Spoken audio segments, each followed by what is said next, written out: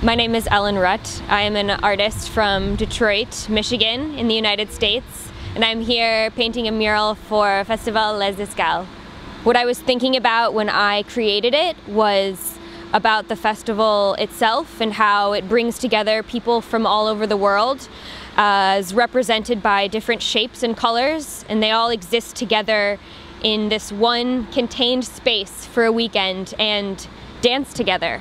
So it's a representation of the festival in my, in my, in my view.